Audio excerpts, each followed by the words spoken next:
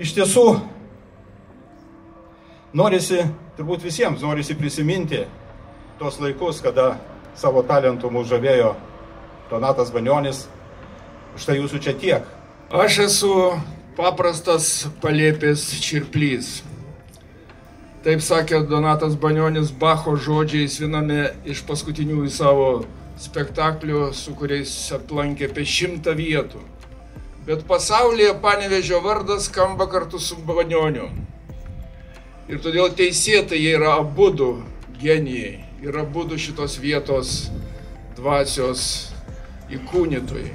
Visgi tai aš manau, ta kultūra yra labai nu, reikalinga ir jeigu aš galiu kažkiek tai prisidėti prie šito miesto, bent dalelytės skolos jam, jam gražinti, aš pasistengiu, mes su šeima tai padarėm.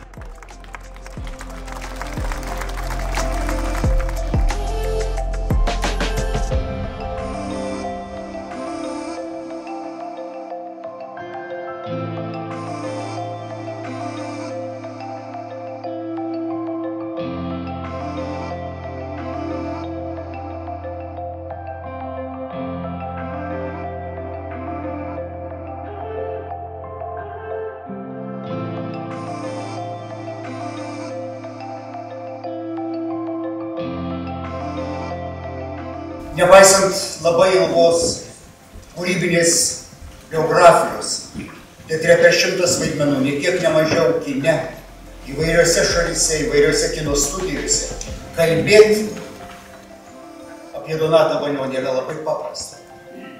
Kadangi viskas susiveda į vietą. Panevežio dramos teatrą. Padėkos, aišku, remėjams, aišku, palaikytojams ir žmogui, teatrui, legendai. Esate. Nors Lietuva labai mažutė, esame laimingi turėdami savo kultūros milžinus, asmenybės, su kuriomis ne tik suaugome, bet ir galime slėptis už jų, kaip už kalnų ar debesų, kurios, kurios mus nuskraidina į meno vandenynus. Vienas iš jų yra šviesaus atminimo aktorius Donatas Banionis.